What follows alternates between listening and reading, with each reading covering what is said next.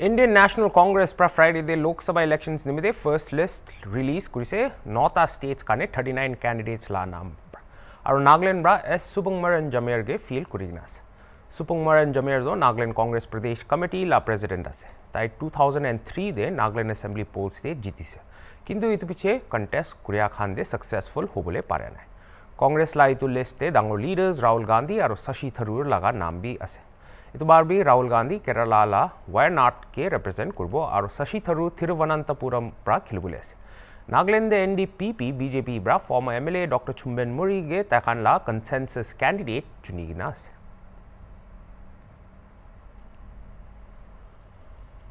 Now, Central Election Committee of Congress has selected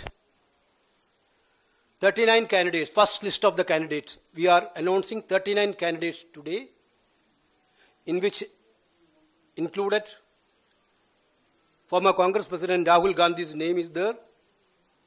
Former Chhattisgarh Chief Minister Bhupesh Bagelji's name is there. Former CWC member Tamaruddin Sahu is there. That I will leave it out.